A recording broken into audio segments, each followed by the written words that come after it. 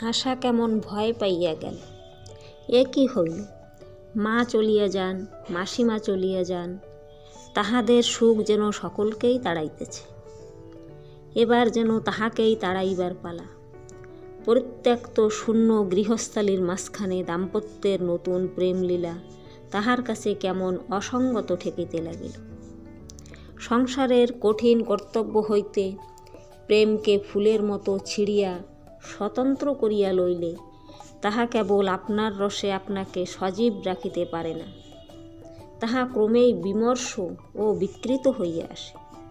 আশাও মনে মনে দেখিতে লাগিল, তাহাদের অবিশ্রাম মিলনের মধ্যে একটা শ্রান্তি ও দুর্বলতা আছে।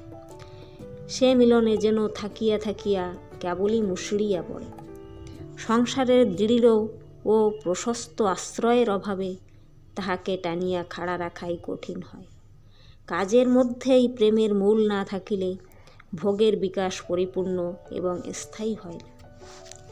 মহেন্দ্র ও আপনার বিমুখ সংসারের বিরুদ্ধে বিদ্রোহ করিয়া আপন প্রেমোৎসবের সকল বাতিগুলাই একসঙ্গে জ্বালাইয়া খুব সমারোহের সহিত শূন্য গৃহের অকল্যাণের মধ্য মিলনের আনন্দ সমাধা করিতে চেষ্টা করিল।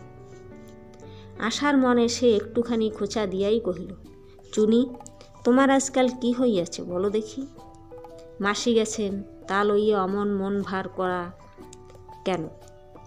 আমাদের দুজনার ভালোবাসাতেই কি সকল ভালোবাসার অবসর নয়? আশা দুঃখিত হইয়া ভাবিত, তবে তো আমার ভালোবাসায় একটা কি অসম্পূর্ণতা আছে? আমি তো মাসির কথা প্রায়ই ভাবি শাশুড়ি চলিয়া গেছেন বলিয়া তো আমার ভয় হয়। তখন সে প্রাণপণে এই সকল প্রেমের অপরাধ খালন করিতে চেষ্টা করে। এখন গৃহকর্ম ভালো করিয়া চলে না চাকর বাকরেরা ফাঁকি দিতে আরম্ভ করিয়াছে। একদিন ঝি অসুখ করিয়াছে বলিয়া আসিল না। বামুন ঠাকুর মদ খাইয়া নিরুদ্দেশ হইয়া রহিল। মহেন্দ্র আশাকে কহিল, বেশ হইয়াছে। আজ আমরা নিজেরা রন্ধনের কাজ সারিয়া লই। মহেন্দ্র গাড়ি করিয়া নিউ মার্কেটে বাজার করিতে গেল। কোন জিনিসটা কি পরিমাণে দরকার, তাহা তাহার কিছুমাত্র জানা ছিল না। কতকগুলা বোঝা লইয়া আনন্দে ঘরে ফিরিয়া আসিল। সেগুলো লইয়া যে কি করিতে হইবে, আশা তাহাও ভালোরূপ জানে না। পরীক্ষায় বেলা দুই তিনটা হইয়া গেল এবং নানাবিধ অভূতপূর্ব খাদ্য উদ্ভাবন করিয়া মহেন্দ্র অত্যন্ত আমোদ বোধ করিল। আশা মহেন্দ্রের আমোদে যোগ দিতে পারিল না। আপন অজ্ঞতা ও অক্ষমতায় মনে মনে অত্যন্ত লজ্জা ও ক্ষোভ পাইল। ঘরে ঘরে জিনিসপত্রের এমনি বিশৃঙ্খলা ঘটিয়াছে যে, আবশ্যকের সময়ে কোন জিনিস খুঁজিয়া পাওয়াই কঠিন। মহেন্দ্রের চিকিৎসার অস্ত্র একদিন তরকারি কুটিবার কার্যে নিযুক্ত হইয়া আবর্জনার মধ্য অজ্ঞাতবাস গ্রহণ করিল এবং তাহার নোটের খাতা হাত পাখার একটেনি করিয়া রান্নাঘরের ভস্য শয্যায় বিশ্রাম করিতে লাগিল। এই সকল অভাবনীয় ব্যবস্থা বিপর্যয় মহেন্দ্রের কৌতুকের সীমা রহিল কিন্তু আশা ব্যতীত হইতে থাকিল। উচ্ছৃঙ্খল যথেচ্ছারের স্রোতে সমস্ত ঘরকন্যা ভাসাইয়া হাস্য মুখে, ভাসিয়া চলা বালিকার কাছে বিভীষিকাজনক বলিয়া বোধ হইতে লাগিল। একদিন সন্ধ্যার সময় দুইজনে ঢাকা বারান্দায় বিছানা করিয়া বসিয়াছে। সম্মুখে খোলা ছাদ। বৃষ্টির পরে কলিকাতার দিগন্তব্যাপী সৌদ শিখর শ্রেণি জ্যোৎস্নায় প্লাবিত। বাগান হইতে রাশিকৃত ভিজা বকুল সংগ্রহ করিয়া আশা নতশিরে মালা গাঁথিতেছে। মহেন্দ্র তাহা লইয়া টানাটানি করিয়া বাধা ঘটাইয়া, প্রতিকূল সমালোচনা করিয়া অনর্থক একটা কলহ সৃষ্টি করিবার উদ্যোগ করিতেছিল। আশা এই সকল অকারণ উৎপীড়ন লইয়া তাহাকে ভর্ৎসনা করিবার উপক্রম করিবা মাত্র। মহেন্দ্র কোনো একটি কৃত্রিম উপায়ে আশার মুখ বন্ধ করিয়া শাসন বাক্য অঙ্কুরেই বিনাশ করিতেছিল। এমন সময়ে প্রতিবেশীর বাড়ির পিঞ্জরের মধ্য হইতে পোষা কোকিল কুহু কুহু করিয়া ডাকিয়া উঠিল। তখনই মহেন্দ্র এবং আশা তাহাদের মাথার উপরে দোদুল্যমান খাঁচার দিকে দৃষ্টিপাত করিল। তাহাদের কোকিল প্রতিবেশী কোকিলের কুহুধ্বনি কখনো নীরবে সহ্য করে নাই। আজ সে জবাব দেয় না কেন? আশা উৎকণ্ঠিত হইয়া কহিল, পাখিরাজ কি হইল? মহেন্দ্র কহিল তোমার কণ্ঠ শুনিয়া লজ্জা বোধ করিতেছে। আশা সানুনয় স্বরে কহিল, না, ঠাট্টা নয়, দেখো না উহার কি হইয়াছে। মহেন্দ্র তখন খাঁচা পাড়িয়া নামাইল। খাঁচার আবরণ খুলিয়া দেখিল, পাখি মরিয়া গেছে। অন্নপূর্ণার যাওয়ার পর বেহারা ছুটি লইয়া গিয়াছিল, পাখিকে কেহ দেখে নাই। দেখিতে দেখিতে আশার মুখ ম্লান হইয়া গেল, তাহার আঙুল চলিল না, ফুল পড়িয়া রহিল মহেন্দ্রের মনে আঘাত লাগিলেও অকালে রসভঙ্গের আশঙ্কায় ব্যাপারটা সে হাসিয়া উড়াইবার চেষ্টা করিল। কহিল, ভালোই হইয়াছে, আমি ডাক্তারি করিতে যাইতাম, আর ওই ওটা কুহুস্বরে তোমাকে জ্বালাইয়া মারিত এই বলিয়া মহেন্দ্র আশাকে বাহুপাশে বেষ্টন করিয়া কাছে টানিয়া লইবার চেষ্টা করিল। আশা আস্তে আস্তে আপনাকে ছাড়াইয়া লইয়া আঁচল শূন্য করিয়া বকুল ফুলগুলা ফেলিয়া দিল। কহিল, আর কেন? ছি ছি, তুমি শীঘ্র যাও, মাকে ফিরাইয়া আনোগে। এমন সময় দোতলা হইতে মহিন্দা মহিন্দা রব উঠিল। আরে কে হে? এসো এসো, বলিয়া মহেন্দ্র জবাব দিল। বিহারীর সাড়া পাইয়া মহেন্দ্রর চিত্ত উৎফুল্ল হইয়া উঠিল। বিবাহের পর বিহারী মাঝে মাঝে তাহাদের সুখের বাধাস্বরূপ আসিয়াছে। আজ সেই বাধাই সুখের পক্ষে একান্ত প্রয়োজনীয় বলিয়া বোধ হইল। আশা ও বিহারীর আগমনে আরাম বোধ করিল। মাথায় কাপড় দিয়া সে তাড়াতাড়ি উঠিয়া পড়িল। দেখিয়া মহেন্দ্র কহিল, যাও কোথায়? আর ও তো কেহ নয়, বিহারী আসিতেছে। আশা কহিল, ঠাকুরপুর জলখাবারের বন্দোবস্ত করিয়া দিই গিয়ে। একটা কিছু কর্ম করিবার উপলক্ষ আসিয়া উপস্থিত হওয়াতে আশার অবসাদ কতকটা লঘু হইয়া গেল। আশার শাশুড়ির সংবাদ জানিবার জন্য মাথায় কাপড় দিয়া দাঁড়াইয়া রহিল। বিহারীর সহিত এখন সে কথা কয় না। বিহারী প্রবেশ করিয়াই কহিল, আ সর্বনাশ, কি কবিত্বের মাঝখানেই পা ফেলিলাম। ভয় নাই বৌঠান, তুমি বসো, আমি পালাই। আশা মহেন্দ্রের মুখের দিকে চাহিল। মহেন্দ্র জিজ্ঞাসা করিল, বিহারী, মার খবর কি? বিহারী কহিল মা খুড়ির কথা আজ কেন ভাই? সে ঢের সময় আছে। Such a night was not made for sleep nor for mothers and aunts বলিয়া বিহারী ফিরিতে উদ্যত হইলে মহেন্দ্র তাহাকে জোর করিয়া টানিয়া আনিয়া বসাইল। বিহারী কহিল, বৌঠান, দেখো আমার অপরাধ নাই। আমাকে জোর করিয়া আনিল। পাপ করিল মহিন্দা। তাহার অভিশাপটা এখন আমার উপরে যেন না পড়ে। কোনো জবাব দিতে পারে না বলিয়াই এই সব কথায় আসা অত্যন্ত বিরক্ত হয়। বিহারী ইচ্ছা করিয়া তাহাকে জ্বালাতন করে। বিহারী কহিল, বাড়ির স্ত্রী তো দেখিতেছি। মাকে এখনও আনাইবার কি সময় হয় নাই? মহেন্দ্র কহিল, বিলক্ষণ, আমরা তো তার জন্যই অপেক্ষা করিতেছি।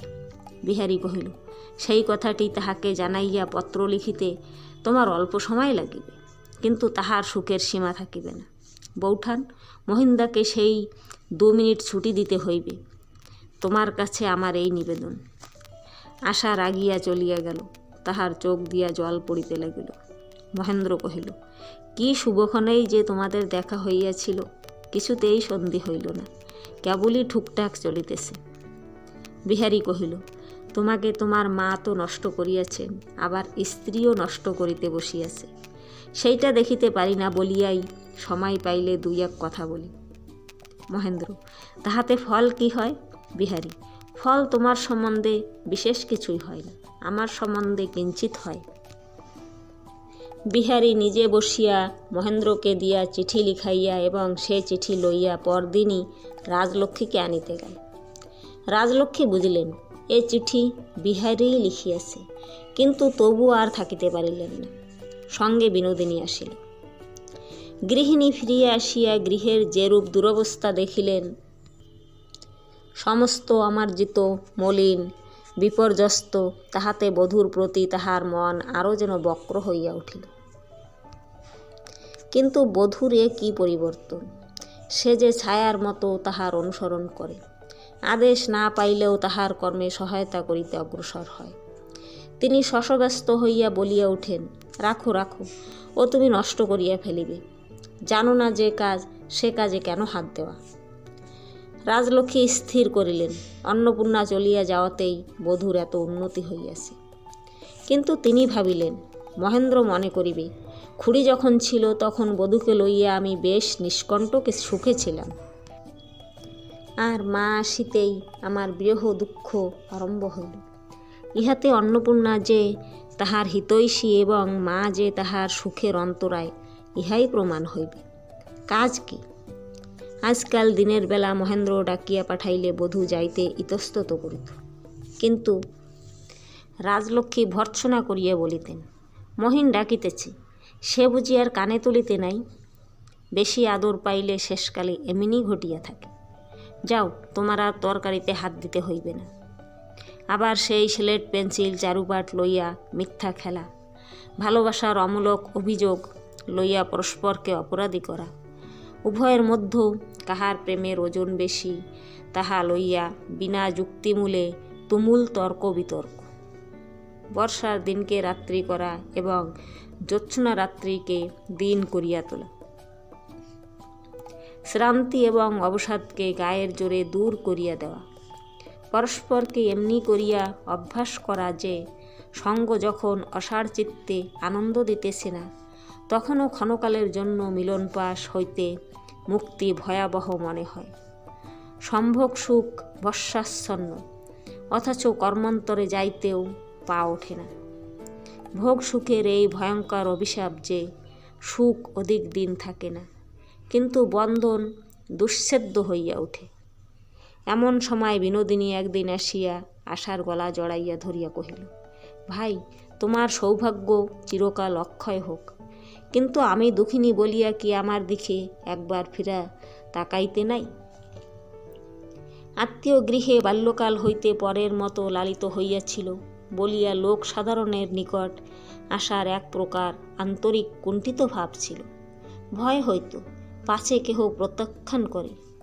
বিনোদিনী যখন তাহার জোড়া ভুরু ও তীক্ষ্ণ দৃষ্টি, তাহার নিখুঁত মুখ ও নিটল যৌবন লইয়া উপস্থিত হইল, তখন আশা অগ্রসর হইয়া তাহার পরিচয় লইতে সাহস করিল না। আশা দেখিল, শাশুড়ি রাজলক্ষ্মীর নিকট বিনোদিনীর কোনো প্রকার সংকোচ নাই। রাজলক্ষ্মীও যেন আশাকে বিশেষ করিয়া দেখাইয়া দেখাইয়া বিনোদিনীকে বহু মান দিতেছেন। সময় অসময়ে আশাকে বিশেষ করিয়া শুনাইয়া শুনাইয়া বিনোদিনীর প্রশংসা বাক্যে উচ্ছ্বাসিত হইয়া উঠিতেছেন আশা দেখিল, বিনোদিনী সর্বপ্রকার গৃহকর্মে সুনিপন প্রভুত্ব যেন তাহার পক্ষে নিতান্ত সহজ, স্বভাবসিদ্ধ। দাস দাসীদিগকে কর্মে নিয়োগ করিতে, ভর্ৎসনা করিতে ও আদেশ করিতে সে লেশমাত্র কুণ্ঠিত নহে। এই সমস্ত দেখিয়ে আসা বিনোদিনীর কাছে নিজেকে নিতান্ত ক্ষুদ্র মনে করিল। সেই সর্বগুণ শালিনী বিনোদিনী যখন অগ্রসর হইয়া আশার প্রণয় প্রার্থনা করিল, তখন সংকোচের বাধায় ঠেকিয়াই বালিকার আনন্দ আরও চার গুণ উছলিয়া পড়িল। জাদুকরের মায়াতরুর মতো তাহাদের প্রণয় বীজ একদিনেই অঙ্কুরিত, পল্লবিত ও পুষ্পিত হইয়া উঠিল।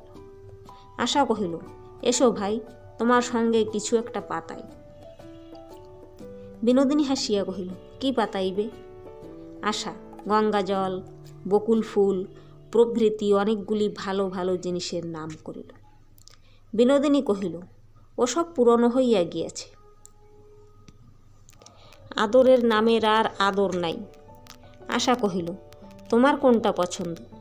বিনোদিনী হাসিয়া কহিল, চোখের বালি। শ্রুতিমধু নামের দিকেই আসার ঝোঁক ছিল। বিনোদিনীর পরামর্শে আদরের গালিটাই গ্রহণ করিল। বিনোদিনীর গলা ধরিয়া বলিল, চোখের বালি? বলিয়া হাসিয়া লুটাইয়া পড়িল।